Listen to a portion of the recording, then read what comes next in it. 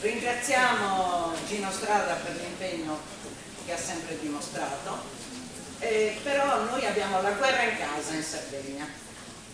Eh, abbiamo Marco Diana che è un militare che sta morendo perché gli rifiutano le cure. Abbiamo militari morti. Cioè, ma perché si deve arrivare a questo? Lo Stato italiano incassa vergognosamente 50.000 euro all'oro per l'affitto delle nostre basi.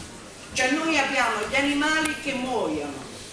Abbiamo avuto 14 feti nati malformati in due anni, alla fine degli anni 80. Io dovevo dirlo, perché i giovani devono essere sensibilizzati, visto che non passano queste notizie. Ora avremo il processo a Quirra in pratica è già arrivato un bel camion di sabbia per insabbiare tutto perché ci sono 20 indagati illustri, generali, colonnelli e anche ovviamente qualche amministratore ignato perché si ostina a negare eh beh, le nanoparticelle non esistono. Un'ulteriore inchiesta ma sono state fatte già tre inchieste da parte del Senato. La dottoressa Gatti l'ha ampiamente dimostrato. Allora noi siamo in tanti, eh, facciamo parte di associazioni, proprio perché da dieci anni che stiamo denunciando questa cosa.